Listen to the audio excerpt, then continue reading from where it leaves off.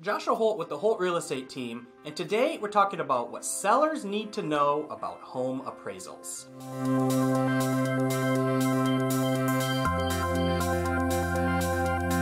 So, an appraisal is an opinion of value, where an expert appraiser will come to your house and estimate how much it is worth.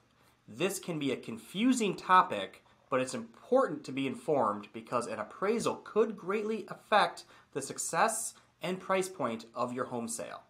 That's why I have answered three common questions about this topic. So the first question is what are appraisers looking for?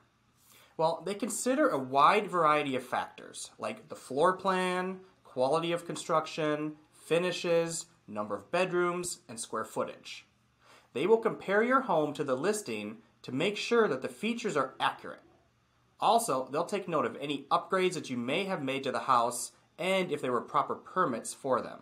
So make sure you have all of that in order beforehand. Lastly, they will be looking at comparable home sales in your area. So why does an appraisal gap occur and what should you do if it happens? Well, home prices are rising rapidly, which increases the likelihood of appraisal gaps. They happen when the value the appraiser provides is less than the agreed upon purchase price. There are several things you can do if this happens, so make sure you have a professional on your side to guide you through your options. And the last question is Should I get a pre appraisal done?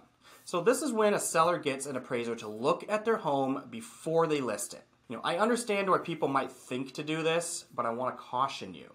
First, the appraisal is normally seen as the buyer's responsibility since it's typically a requirement for them to get the mortgage loan.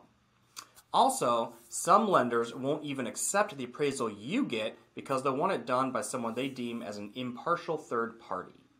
Selling your home can be expensive, so you don't want to pay for things that are unnecessary. So, once again, this is Joshua Holt with the Holt Real Estate Team, Keller Williams Realty.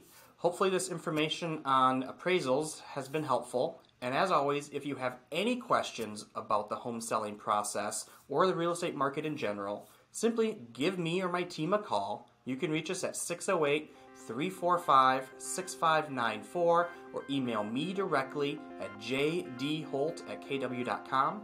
I thank you for taking the time to watch our video today and be well.